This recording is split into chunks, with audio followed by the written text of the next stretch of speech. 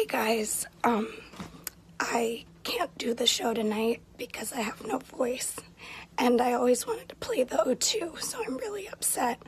Um, and I'm really sad to let my fans down because I know that some of you traveled hours and some of you flew to see this show, but I really can't go on, and I'm really sorry. We are rescheduling the show, so um, I'm just very, very sick right now, and hopefully I'll be able to perform at the O2 again um, very soon. So thank you for understanding. I love all of you, and I'm very sorry.